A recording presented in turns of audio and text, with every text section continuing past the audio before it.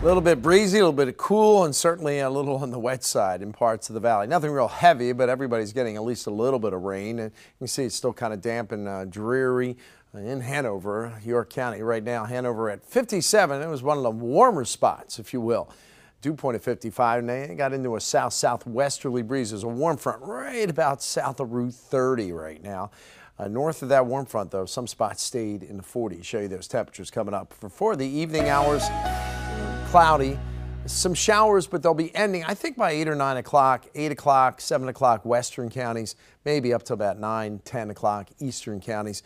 Uh, it's still going to be breezy, though, and the winds are going to kick in in the northwest. That's going to dry it out. And temperatures a couple degrees either side of 50 and mostly in the 40s, and then down in the low 40s overnight tonight. Could even be a few 30s if your neighborhood clears out a little more.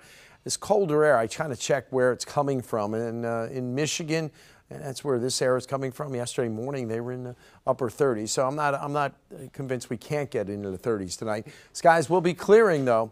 It'll be breezy and cool for tomorrow. Temperatures mid to upper 50s, slightly below normal, but not a bad last Friday in October kind of day. So here's the rainfall. You can see the cloud picture showing one batch moved through earlier. Now we get the second batch coming in, getting some moderate showers. Here's the end of it. It's a cold front. It's back to our west, and it's going to zip on through as we go uh, through the evening hours. Now, temperatures generally got into the 50s and then 60s to our south. But in the valleys, we kind of tend to hold on to some of that cooler air, and we stayed on the cooler side. You can see up in Erie, it's in the 40s again, 52 in Pittsburgh, where they're starting to clear out. Here's the radar. Heaviest now, Adams, parts of Franklin counties, and there's some moderate showers up in parts of the Lebanon Valley. There's that back edge of the showers, though, already to the west. Temperatures in the 40s and 50s. We'll time it out for you. Predictor shows that last edge of the showers coming through. This is about 9 o'clock. Then they're out of here. We'll see some clearing, but still some clouds around overnight into early tomorrow morning.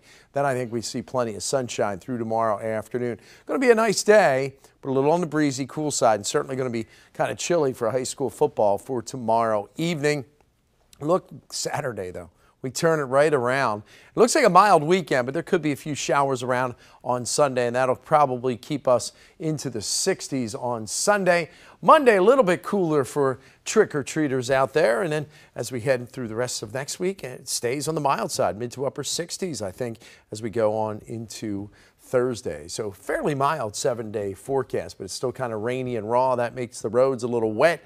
Lots of leaves on the roads too. That can make it a little slick. Let's see how things are going. Corinne? Well